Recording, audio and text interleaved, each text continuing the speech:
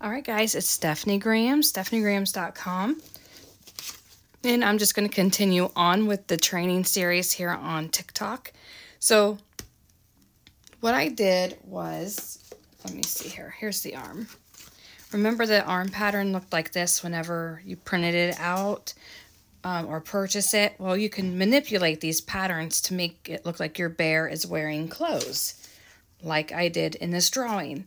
And so I cut the paw part off and now I need to make four paws of the chocolate brown because his face, his paw, and the sole of his foot, those are all going to be chocolate brown.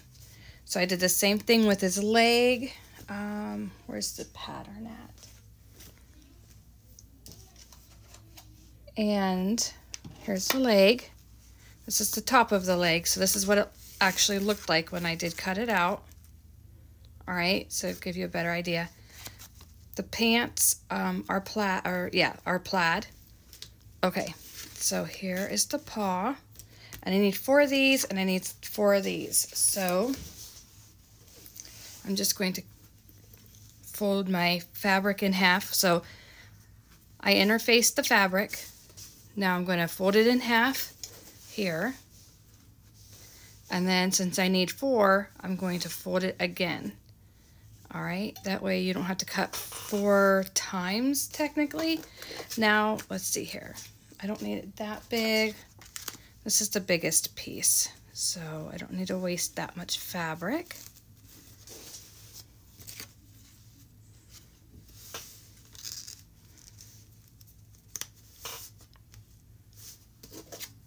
All right, and they both fit with space. Let's see if I can scoot this over. There we go.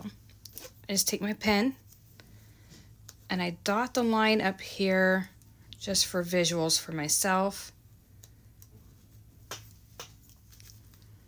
Line it back up.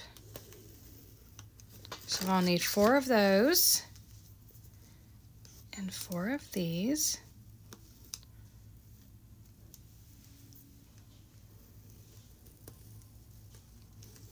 All right, I'm gonna set those over to the side take my scissors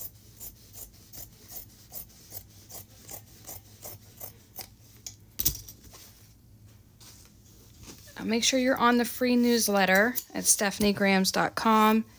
Uh, I have better classes um, or lessons on my YouTube channel, and also the new classes start January 2024. They're self paced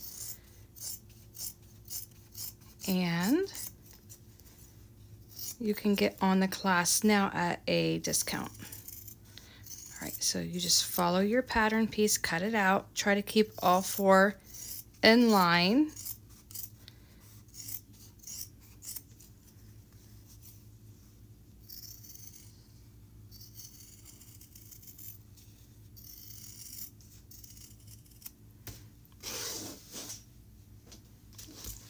That's the foot. I'm going to put one pin in there and I will show you how I join the feet and the legs back to sew them.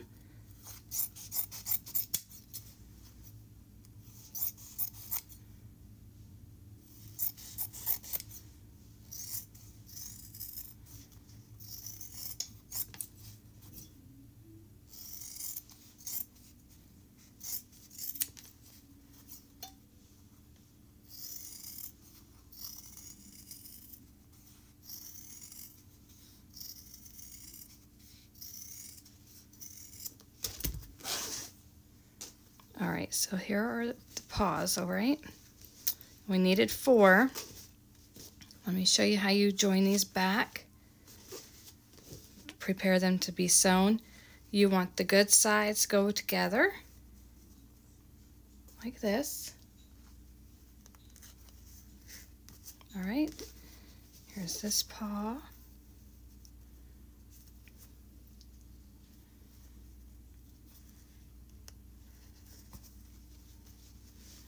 So whenever you do sew these back together, this is how your arm will look like he's wearing a shirt.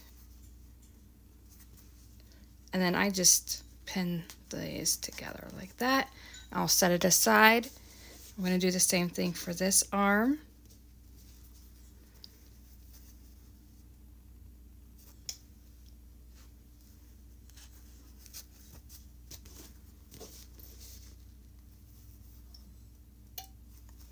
And remember, this was commissioned, so this is just fabric off of a bolt.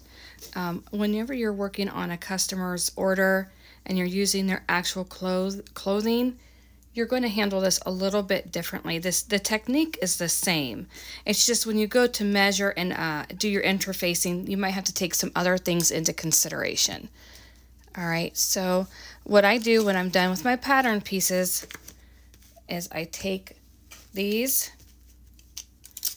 and I put a piece of tape around them and I keep them together. That way they are not lost. So here's the arm, tape that one back. And let me see if I can get a leg put together for you before this timer goes off. That way you can see what it looks like.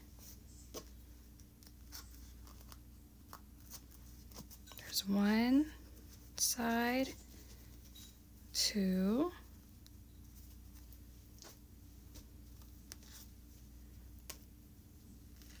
ouch. So this is what the leg will look like. I just pin these together until I'm ready to sit down and sew them.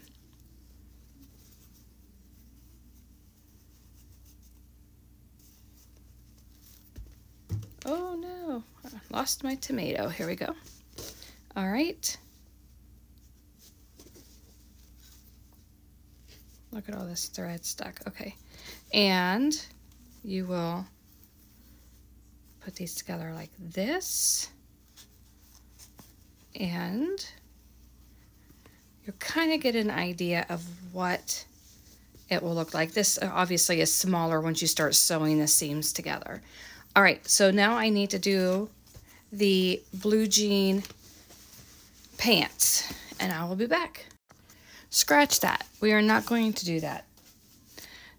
The legs are not plaid. The legs and the belly are blue jeans.